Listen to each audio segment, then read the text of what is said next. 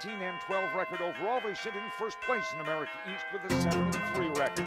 Stony Brook is 16 and 16. They are 4 and 4 in conference play. Two strike pitch. That's a breaking ball. Up strike. We'll take a seat on the next deal. Ball hit hard. Right field. It's going to be fair. It's going to be in the corner. And it's going to play the man. Honeyman on his way to second scoring.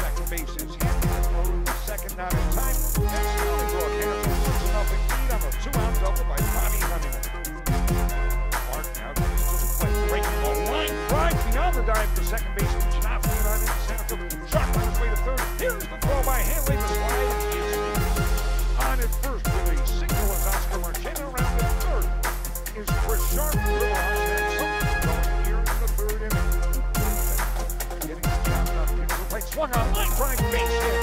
Right field. That will tie the game. Scoring from third is Sharp down to second is Marchena on first with the RBI. He tying the single is Toby Mayola.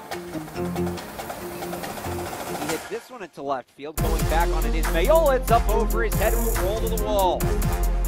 Getting the sign around third, heading home is Mazzola. The throw in is cut off, and the Seawolves have their second lead of the ball game. It's two to one on an RBI double from Mike Wilson. We all got the game.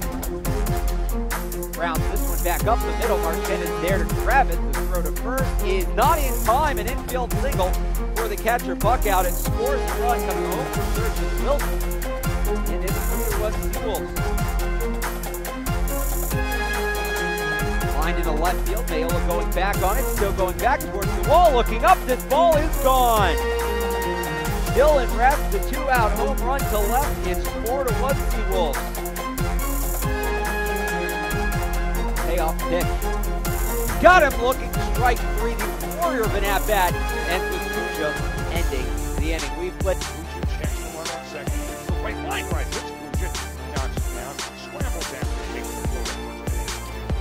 All right, good recovery by Kuzin. Brings up Oscar Martinez. First pitch, and that probably will let the ball and the ball popped up in the infield. Takes Baker, makes the catch, and that's it. Ball game over. Riverhawks go down quietly over the final three innings. Uh, in the ninth, no runs, no hits, no errors, nobody left on base. That's it. Ball game over.